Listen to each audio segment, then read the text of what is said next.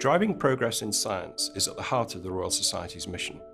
Our 10 journals publish across the entire range of science and serve to connect scientists together, whether in the same discipline or across subject boundaries. We've published some very eminent science since our very first science journal, Philosophical Transactions, which was launched 350 years ago. Our A-side journals cover the physical sciences, mathematics and engineering. Our B-side journals cover the biological and life sciences. There are two journals that have both A-side and B-side editions. Philosophical Transactions is themed issues edited by a guest editor and covers a particular subject area. The Proceedings journals are free submission journals covering original research. Biology Letters covers short, cutting edge articles on biology, and Open Biology, which is our first open access journal, covers molecular and cellular biology. We also have two journals that cover interdisciplinary science, where scientists work across the traditional subject boundaries. Interface, which publishes freely submitted original research articles, and Interface Focus, which publishes themed issues.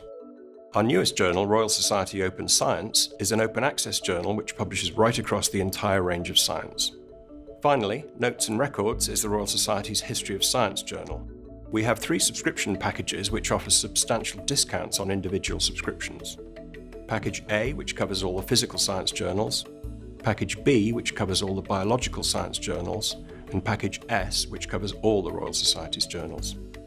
We believe it's important for pioneering scientific research to be circulated as widely as possible.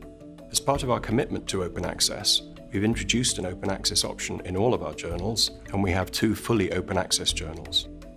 Our journals are also easily accessible online, and with the website's search function, it's easy to find what you're looking for. We use Altmetric to track each time one of our published articles is mentioned on the web, just one of the ways to expand your search further. We've been publishing science for over 350 years, and in 2017 we launched a digitised version of our entire archive back to 1665, which allows readers to access high-quality digitised versions of all the articles. We've published Huxley, Darwin, Hawking and Lonsdale. We're now looking forward to discovering the next revolutionary author.